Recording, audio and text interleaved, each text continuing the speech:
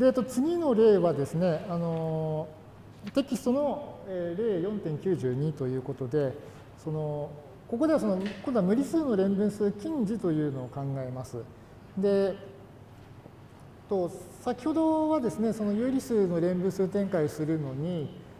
まあ、ユークリッドのご情報が使えますという話をしました。で、えっと、無理数はですね、まあ、必ずしもその、まあえっと、有限界の操作もしくはその先ほど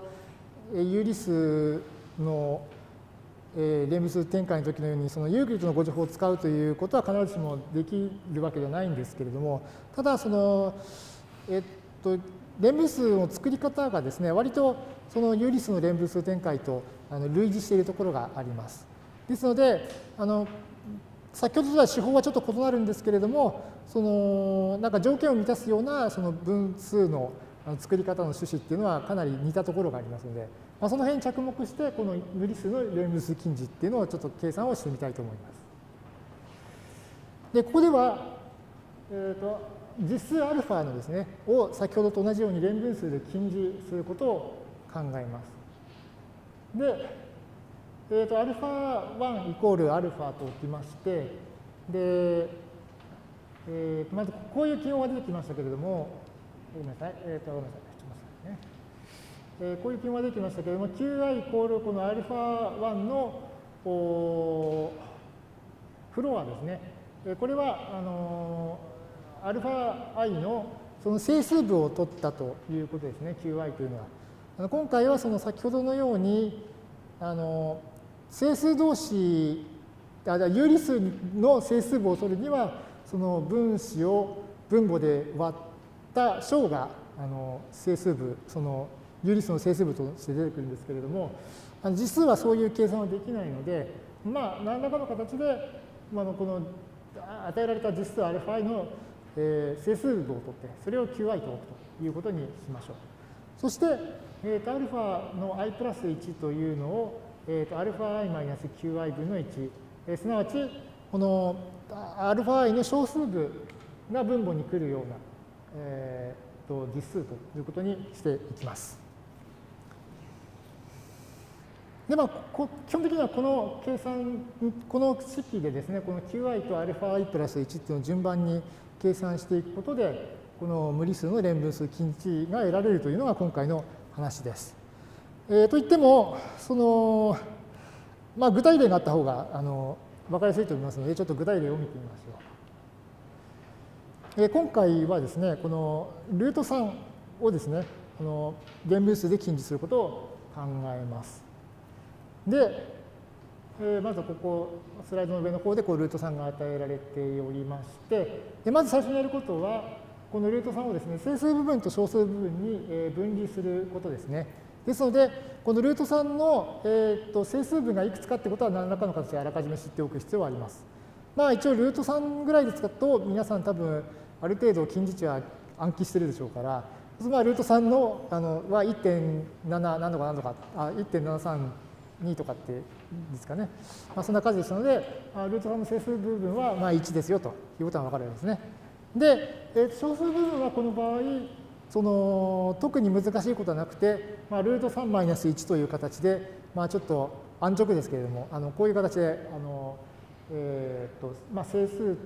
とか、それから有理数とか、あとそのルート3の、えー、なんか定数倍なんかを使って表しておけば十分です。でまあ、このようにしてですね、まず整数部分と小数部分にルート3を分けまして、で次のステップでは、このルート3マイナス1の部分をあの分子を1にするような分数の形で表しておきます。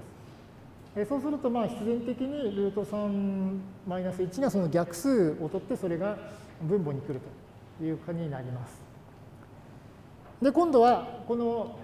分母に来たこのルート3マイナス1分の1をですね、うまく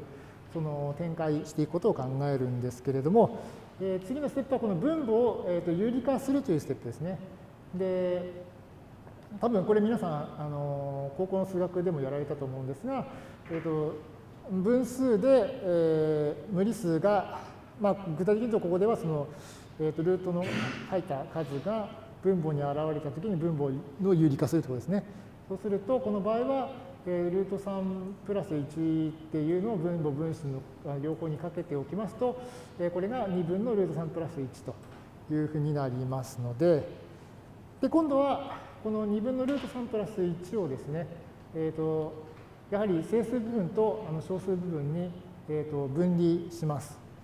で、まあ、ちょっと面倒かもしれませんが、あの2分のルート3プラス1の整数部分はいくつかっていうことをあの、まあ、求めてですね、でこの場合はあの1というふうになりますので、そうすると1と、それから、えー、と2分のルート3プラス1マイナス1っていう部分に分けて、でまあ、こういう形で表しておきます。で、まあ、結果として、これが1プラス2分のルート3マイナス1という形になりますので、えー、次のこの2分のルート3マイナス1に着目して、この分母を1にするということにします。でさらに今度はこの2分ルート3マイナス1分の2をですねこう同じようにえっ、ー、とこれはあの分母を有理化するとそうすると,、えー、と2分の 2× ルート3プラス1になるんですがここで約分してルート3プラス1になりましてで今度はこのルート3プラス1の整数部を見るとこれは整数があの部が2ですからえーと、そうすると2プラスルート3マイナス1という形にすると。で、ルート3マイナス1が現れたら、えー、これをその、分子が1の分数の形で表すと、まあ、ルート3マイナス1分の1という形になるんですが、え、実はこの形ですね、あの問題が与えられた最初のこの分子を1にするときにもうすでに現れておりましたので、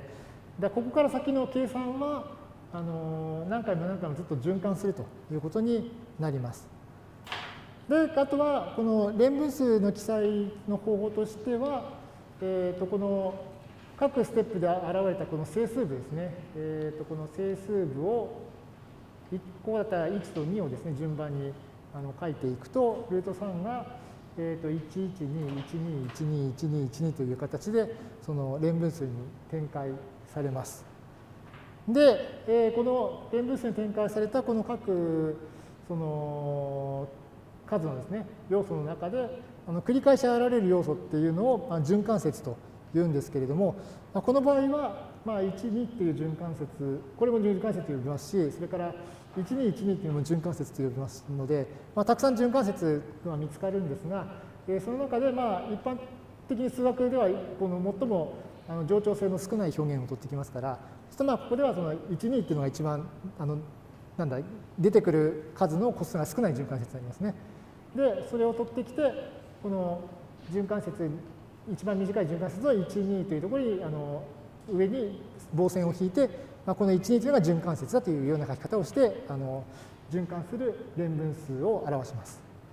でさらに、えー、とこの連分数、この循環する連分数の循環節の長さというのは、ここに取ってきたような、その一番短く、あのまとめ、一番短いですね、この循環節のに現れる数の個数を持って、まあ、このこの数のルート3を、え連分数近似した場合の循環節の長さというふうに言います。ここまでよろしいでしょうか？あ、そうですね。すみません。なんか字幕があった吹き出しがあったんですけど、あの吹き出しあるの忘れて全部喋っちゃいましたね。じゃあもう一回このあの計算復習しますと、えー、ルート3マイナス1が出てきたらやはりここも分母を有理化してで出てきた数の整数部分と小数部分に分離して、えー、で分子を1にすると、まあ、この場合は循環節が現れたのでああのここであの連分数の展開が循環するんだなということが分かったというわけですね。よろしいでしょうか。で一応ちょっとこのですねあの無理数を連分数近似でできる場合どういう場合かっていうことについて少し触れておきますとこの実数、無理数 α をあの循環連分数で表せるための必要十分条件として、この α がですね、えーと、9分の m プラスマイナスルート n という形で表せるという条件であるということが知られています。ここでは m と n と q は全部あの整数なんですけれども、このような形で表されるあの無理数のことを二次無理数と呼んでおりまして、これはあの正形数の二次方程式のあの根として、定まることが分かっています。